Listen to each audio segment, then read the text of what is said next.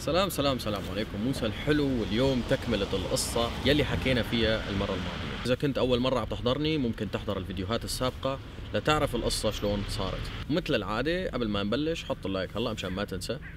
وراح نبلش. بالفيديو الماضي حكيت شلون طلعت من اليونان على مقدونيا ومن مقدونيا على صربيا ومن صربيا على كرواتيا ومن كرواتيا على سلوفينيا. وقفنا. حاليا بدنا نكفي القصة من سلوفينيا. تاني يوم قلنا بسلوفينيا حجزوا لنا باصات وطلعنا فيهم على النمسا. وصلنا على النمسا كانت الدنيا بياض ثلج وبدأت معاملة الشرطة تتحسن معانا. يعني بتحس بالفرق لما تكون أنت بدول مثل آه، دول البلقان وبتوصل على النمسا. أخذونا بالنمسا على كامب أو مجمع. هنيك أكلنا لأول مرة بعد أسبوع كامل طون وسردين وبندورة وجبة سخنة. أنا كنت حتى شبعان يعني بس أكلت رغم عن ذلك لأنه معدتي كان ما داخل شيء سخن من فترة عدا القهوة والشاي. فاسترحنا بال camp هذا والتجمع لكذا ساعة وبعدها حجزوا لنا قطارات من النمسا على ميونخ. رحنا على محطة القطارات كانوا حاجزين لنا بقطارات مرتبة شكله مثل الطيارة. هو ال ICE كنت أول مرة بركب ال ICE وهيك انبهرت فيه. بلشت أحس هيك براحة نفسية إنه أوه في تطور. جينا بهالقطار على ألمانيا وبلشنا نشوف جمال النمسا. بلش الواحد يشوف الجمال تبع أوروبا. نفسيتك بتتغير. ثلج بكل مكان بيوت خشب صغيرة وجبال وديان شيء رائع. لحد ما وصلنا. بمحطة القطار كان في ناس عم يستنونا وهن اللي أخذونا على camp عسكري بألمانيا. كان هو مطار عسكري. نمنا ليلة بهذا المطار العسكري. كانت مقبولة. ثاني يوم أخذونا وقالوا لنا لازم تطلعوا transfer. على مدينة تانية. فطلعنا خدونا من الباصات ورحنا على مدينة تانية. كان ال camp اسمه هيلينجن بلينجن هيلينجن فيلينجن ما بعرف. اسم غبي مثل ال camp ومثل المدينة ومثل اللي موجودين بال camp. بالوقت اللي دخلنا فيه على ال camp فتشونا إذا في معنا شيء فتشوا إذا في معنا شفرات حلاق وهيك شيء أو أسلحة. آه، هذه القصة غريبة شوي بس سألنا ليش الإجراءات هي هيك متشددة؟ فخبرونا أنه هذا ال camp هو قمة الإجرام في كل أنواع المخدرات الجنسيات المتواجدة من كل بقاع الأرض أفغانستان إيران أفريقيا عرب أجانب كله. فتنا لجوا شفنا الشيء بعيننا ناس واقفة هيك كل ثلاثة أربعة على زاوية كأنك فايت على سجن. أوف وين فتنا؟ محل ما بتنام العالم كان في كونتو بلاكات بتفصل بيناتهم. يعني أنت بتسمع الطرف الثاني والطرف الأولاني وهن بيسمعوك والقصة شوربة عدس المهم قلنا يلا بنشوف بلكي الوضع يتحسن بكرة. فتنا والوضع كان مأساوي.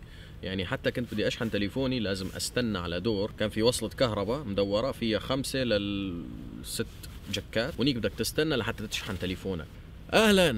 لا طلعت أوروبا مو مثل ما كنا متخيلينه. المهم مجبورين نمنا ليله بهذا الكامب وتاني نهار أن اللي بيحب النبي يخلي. وين تضل بهيك كامب العمى بقلب الكامب حمته حمصه حموقه وكله بتاع إيه معك حاجة؟ مشان هيك تاني نهار اللي بيحب النبي يخلي. رحنا أنا وأغلب العيال حجزنا tickets قطار وكل واحد طلع على جهة. لأنه في نسبة من الناس أصلا ما بدها تضل بألمانيا. أنا كنت واحد من ناس سافرت على بلجيكا ناس سافرت على لوكسمبورغ ناس سافرت على السويد بس النسبة الأكبر ضلوا بألمانيا.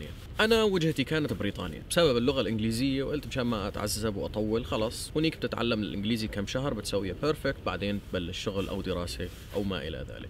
بس للنصيب كنت بدي أزور رفيقي هون بألمانيا فحجزت بالقطار على مدينة مونستر. على جان. وهنيك استقبلني لأسبوع رواق حمام مي سخنة قاعدة بالبيت مرتبة غرض نظيف.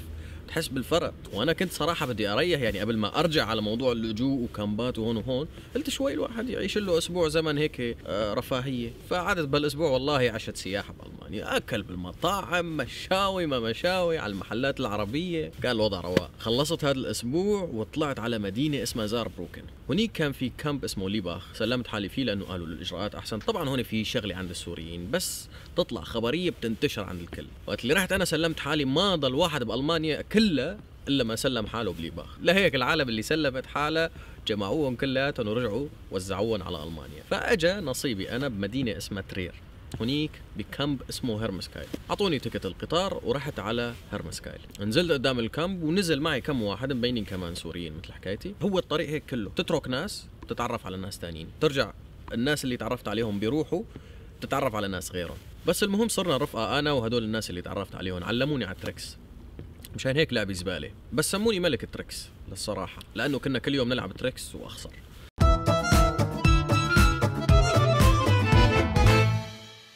فتنا على الكامب مع العيلة الثانية ولا في خيم من أول وجديد. قلنا خلصنا من المعاناة على الأساس لنرجع لهون. فوت على الخيمة فأخذونا ال security قلنا لهم طلعوا على إذا بدك تحطنا مع أفغان ومع إيران ومع مدري وين وصل لك خمس دقايق وتعال شيلنا لأنه راح نسوي مشاكل. بدنا هيك نتبلى على العالم. إنك ما خرج تعيش مع حدا ما بتعرف لغته عاداته غير عاداتك وتيجي تنحط أنت وياه بمكان لا أنت حابب تكون فيه ولا هو حابب يكون فيه. فبدها تصير مشاكل عشان هيك الأزبط كان إنك تضلك مع سوري أو مع عرب على الأقل. هو هذا ال security كان سوري الأصل. فتفهم شوي وسمعني واحد من الشام عم بحكي هو بيشتغل من المطبخ معاهم بيساعدهم بس هو لاجئ. فسمعني هيك قال لي وينه؟ من وين أنت؟ قلت له أنا من حلب ريف حلب منبج. قام قال لي تعال لهون ما تخاف. قال له لل security عندي. أخذنا الزلمة هو طلع زعيم القاووش تبع الخيمة. مدري أبو إيش كان بس هيك زلمة هيك ناصح شوي. أخذنا ورحنا وبلش. حطوا لي هالعيلة بالخيمة هاي وهي العيلة حطوا لي اياها هون مهم معلم زبط كل العالم زبط لهم أمورهم. قام قال لي أنت وين عيلتك؟ قلت له لا والله ما عندي عيلة. قام قال لي تعال أنت على العزابية محسوب. والله الزلمة هو مزبط لحاله خيمة خمس نجوم. سارق شريط كهرباء مشان يشحن التليفون إمتى ما بده. إيه بالكامب اللي عنده شريط كهرباء مثل اللي عنده شاليه على شو اسمها هاي؟ اللي عنده بالكامب شريط كهرباء مثل اللي عنده شاليه بمرسين. أقعد يا واد. مركنا بهالخيمة. يوم يومين بلشوا يطلعوا العيال من الخيم على المباني. كل عيلة تاخذ غرفة أو ياخذوا عيلتين بغرفة واحدة. بس محسوبك ضل بالقاووش مع زعيم القاووش. علي الحلال مثل السجن بالضبط إجت المسؤولة بعد ما طلعوا العالم صارت ترتب التخوت والخيم وتاخذ الشراشف. أنا بما إنه ما عندي شيء صرت أساعدها أرتب معاها. فصار بيناتنا حديث قالت لي معك عيلة معك حدا. قلت لها والله أنا لحالي. خبرتني إنه للأسف الأولوية بس للعيال الشباب رح يضلوا مبدئيا هون. لا لا إيش بدنا نسوي؟ أمرنا الله. سكتت شوي وخبرتني إنه ممكن يعني نغير شوي الموضوع ونقول إنه أنت معك. أشخاص هن عيلتك. قلت لها أكيد أنا مين؟ قال لك إنه ما معي أشخاص هن عيلتي. هلا بروح بجيب حي الله حدا وبحط لك اياها بدفتر عائلة. المهم اديني الغرفة. خبرتني جيب حدا وتعال لا أعطيك غرفة. رحت على المطعم تبع الكامب كان في هنيك شباب بعرفهم. جبناهم قلنا لهم تعالوا يلا في غرفة. إجوا الشباب رقد. لأنه أنت ما بتعرف إيش معناته غرفة لتكون قاعد برا. سجلت أسامينا أعطتنا الغرفة رحنا نمنا. إحنا أربع أشخاص كان فيها أربع تخوت فيها طاولة مكتب صغير. في خزينه في حمامات برا مي سخنة. رحنا اشترينا أغراض مشان نسوي أكل فول حمص. اشترينا سخانة مي صرنا نسوي قهوة على كيفنا. ثق تماما أنت اللي عم تتابع أنت ما بتحس بقيمة الشيء لتفقده أنا كنت عندي غرفة وعنا عايشين ببيت بس بس بتشوف هذا الشيء إنه هذا شيء طبيعي. يعني أكيد يعني وين بدك تعيش؟ لما تعيش أسبوع كامل بالشارع وتجي على غرفة مع أربع أشخاص كتير صغيرة يا دوب في محل للنومة بتحسها قصر. شعوري بهديك اللحظة لا يوصف. مبسوط كتير سعيد عندي غرفة عندي مكان أنام فيه. في طاولة ممكن تحط عليها فنجان القهوة الصبح تدرس عليها مكان دافي. شعور تاني لهيك كون ممنون كون ممنون بالمحل اللي أنت فيه. وتحمد ربك على هاي النعمة. في كتير ناس حاليا بالخيم بهاي الأجواء قول الحمد لله قول الحمد لله على النعمة. هذا هو تعليق اليوم. الحمد لله على النعمة. الدنيا صارت تمطر. بس راح نكمل ما راح نوقف اليوم. راح نكمل السولافة للأخير بعد فترة بالكامب مرضت رحت حللت بس خبروني إنه لازم أضل بالمستشفى. استغربت إني لازم أضل بالمستشفى لأنه أنا كنت طبيعي يعني ما كان في شيء عم يوجعني يعني مغص بسيط. بس اجى الدكتور ومعه ممرضين وأخذوني وحطوني بغرفة غرفة مثل الحجر مثل الحجر الصح. ممنوع حدا يجي يزورك ممنوع أنت تزور حدا ممنوع التواصل مع أي حدا. أهلا وسهلا. إيش معاي ليش يا حبيبي؟ مرض خطير مرض خبيث صار 650 ألف سيناريو يلعب براسي. قلت أكيد ايدز مقدز يا حبيبي. الله لا يوفقك. شكله الموضوع. وبالفعل خفت خوف. ما خفته بحياتي لأنه أنا فكرت إنه معي مرض خطير. ومحجوز أنت بالغرفة وممنوع تشوف حدا. والشيء طبيعي طبعا إنك تسوي مشاكل. فصرت أصيح. وفين الدكتور؟ جيبوا الدكتور قال عن أبوك وابو الدكتور. اجى الدكتور قلت له هلا بتقول لي أنا إيش معي بدي أعرف. قال لي معك سالمونيلا. طلع صاير معي تسمم وآكل شيء غلط ومشان هيك بالأمعاء صاير عندي مشاكل. فحكيت مع الدكتور إنه خبرني من الأول يا رجل أنا فكرت معي شيء خطير. كنت راح أجن. الحمد لله ما كان في شيء خطير. بلشت أتأقلم بعد كم يوم على المستشفى. بصراحة ما كانت سيئة هي. بعد كم يوم حسيت إنه في ناس هي عم تجيب لك الأكل. وأنت قاعد بغرفة لحالك.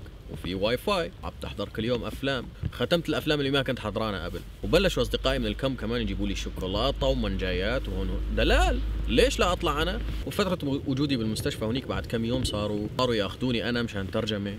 وصرت آخذ مصاري عليها. يعني قاعد فعليا آكل شارب نايم. وعم يدفع لي مصاري. بس للأسف صار وقت طلعتي. رحت على الدكتور قلت له شوف يا دكتور أنا على مسؤوليتك بطلع. لكن شكلي راح أمرض مرة ثانية عشان ما أطلع أمرض وأرجع أجي. خلص بضلني قاعد هون لبين ما يجيني الخروج ال transfer تبع الكامب قام هو حس إنه إيه عجبتني القعدة لايقت لي.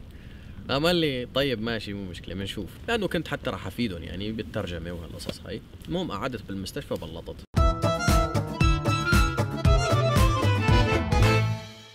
أجاني بعد الفرز على ضيعة اسمها ارمسهايم تبعد عن مدينة ماينز تقريبا نص ساعة على 40 دقيقة. ضيعة بتجنن. بيوت وخضار وكل شيء حلو. بس ما فيها شباب. كلها من الخمسين وفوق. ما بتشوف شباب على الخالص. أنا كنت أشوف الشاب بالشارع أرقد عليه. ينهزم هو يخاف مني لك بس بدي أسلم عليه لك هات بوسة يا رجل. شب أنت. عمرك تحت ال 40 سنة. نسوان زلم حي أنت حتتبس يعني حتتباس. ضليتني. عتمت أكثر بس اليوم ما في خطورة. هي بشر حوالينا وبيوت رح نخلص السولافة يعني رح نخلصها. أعطينا اشتراك إذا ماكم مشترك رشفة من القهوة. ضليتني بارمزهايم تقريبا سنة لحد ما وصلتني الإقامة بعد شي سنة وشوي. بس استغليت هاي السنة إني تعلمت ألماني بالبيت. شاركت مع فريق كرة قدم بالضيعة. فريق قوي. تعلمت كرة القدم بطريقة احترافية أكثر. وتعرفت على أول صديق إلي ألماني اسمه كريس. وكريس وأنا لحد الآن من أعز الأصدقاء. حاليا هو موجود ببلجيكا. بعد ما أجتني الإقامة فتشت على سكن ولقيت سكن طلابي مع شابين وبنتين. انتقلت على مدينة ماينز. هون أغلبية طلاب الجامعة بيستأجروا بيت كبير. والغرف اللي بالبيت بتتأجر على طلاب تانيين شباب بنات حسب. أنا البيت اللي قبلوني فيه كان هو شابين وبنتين. كمان لسه عندي علاقة مع اثنين منهم لحد الآن وواحدة منهم هي من كمان أعز الأصدقاء لي. انبسطت كثير بهاي الفترة اللي قعدتها معاهم. عرفوني على البلد عرفوني على ناس جداد. تعرفت شلون الألمان بيفكروا؟ وصارت كثير قصص. قصص خبية وقصص حلوة. لو كان بدكم تسمعوا قصص تانية اكتبوا لي. المهم بعد ما خلصت اللغة وصلت لمستويات عالية فيها قدمت على الجامعة. على كلية الإخراج. والإعلام. حاليا أنا بالجامعة عم بدرس هذا الاختصاص اللي كتير بحبه. والله مأنم علي إني عايش هون وأهلي قريبين علي. وبس هاي كانت باختصار قصتي. مو المهم مين كنت المهم مين أنت ومين رح تكون. لأنه أنت اللي قادر تصنع مستقبلك بإيدك. بعون رب العالمين طبعا. وبشغلك. هالشي صعب بس مو مستحيل. بتشكرك لاهتمامك بقصتي ولأنك تابعت الفيديو للأخير. اكتب لي تحت إذا عجبتك القصة واللي بيحب يشارك قصته معي يبعث لي إياها وأنا راح أنشرها هون. like و share و subscribe يلي لسه مو مشترك. تصبحوا على خير.